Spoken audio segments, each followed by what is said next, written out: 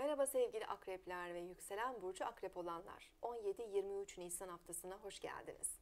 Sevgili akrepler, evet e, bu hafta gezegeniniz Mars burç değiştirecek. Ayın 21'ine kadar Boğa burcunda, 21'inden sonra ise İkizler Burcu'na geçecek. Evet son dönemlerde özellikle e, Mars Boğa Burcu'ndayken sizin için zor bir açıdaydı ve bu dönemde belki ilişkilerinizle ilgili gerçekten e, stres ve çatışmalar yaşadınız, zorlandınız. Şimdi Mars ikizlere geçecek ayın 21'inden itibaren 4 Haziran'a kadar da ikizler burcunda olacak. Bu dönemde özellikle neye dikkat etmeniz gerekiyor? Biraz daha finans konularına dikkat etmeniz gerekiyor. Ee, motive olduğunuz konular biraz daha böyle parasal kaynaklar olacak. Özellikle ilişkilerinizle ilgili e, eşinizin parası olabilir, ortaklı işleriniz olabilir, hisseli bazı paralar olabilir, kredi gibi konular, vergi gibi konular olabilir.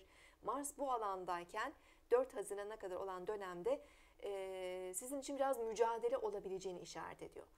Aynı zamanda tabii ki e, bazı istem dışı kazalar ya da beklenmeyen durumlar da oluşabilir. Mars'ın 8. ev geçişinde. Bunun yanı sıra enerjiniz de oldukça yükselecek gibi görünüyor. Özellikle zihinsel enerjiniz çok artabilir.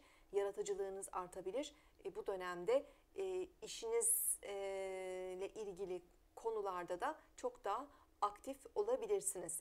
Evet ayın 20'sinden itibaren Güneş Boğa burcuna geçecek. Mayıs ayı sizin için ilişkilerde daha olumlu bir döneme işaret ediyor.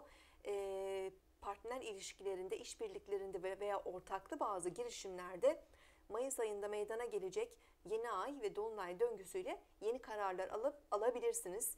E, adımlar atabilirsiniz. Ay geçişlerine baktığımızda haftanın ilk günlerinde ay Oğlak burcunda olacak.